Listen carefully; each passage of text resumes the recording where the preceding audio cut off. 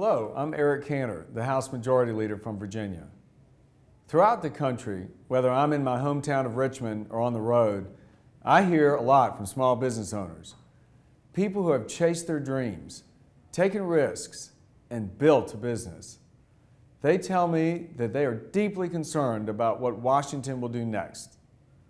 The threat of higher taxes and more red tape has our small business owners anxiously sitting on the sidelines rather than starting a new business and hiring another employee. They tell me they long for the moment when they can once again think about growing their businesses and hiring people. These men and women know what some in Washington apparently do not that higher taxes and more regulations do not create jobs. Entrepreneurs do. Red tape and new taxes just make the job of creating jobs that much harder. This week in Washington, we saw a collision of two very different plans for economic growth. House Republicans, joined by 19 Democrats, passed a bill to stop the looming tax hike that will hit all Americans next year. On the other side of the Capitol, in the Senate, a Democrat only plan to hike taxes passed. The president sided with Harry Reid and the Democrats, insisting that their plan to raise taxes was the answer for economic growth. But a recent independent study concluded that the president's tax hike could result in the loss of over 700,000 jobs.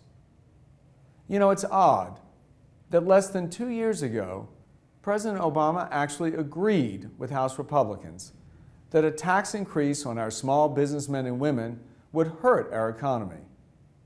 This raises the question, does President Obama now believe that our economy is doing so well that we can afford to raise taxes on small businesses? Today, there are millions of Americans who are looking for work or trying to decide whether they can open a new business. They are rightly frustrated by the lack of results in Washington.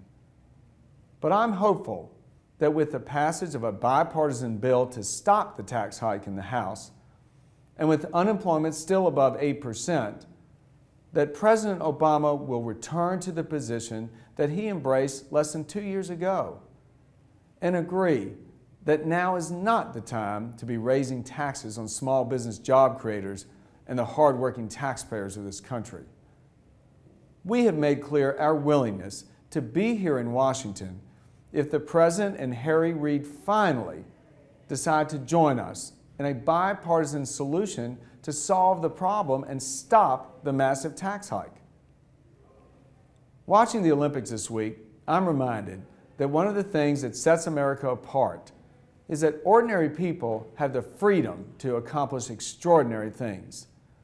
Every day, I hear from Americans who are ready to do the extraordinary, open a new business, create a new job, build a better future for our children and theirs.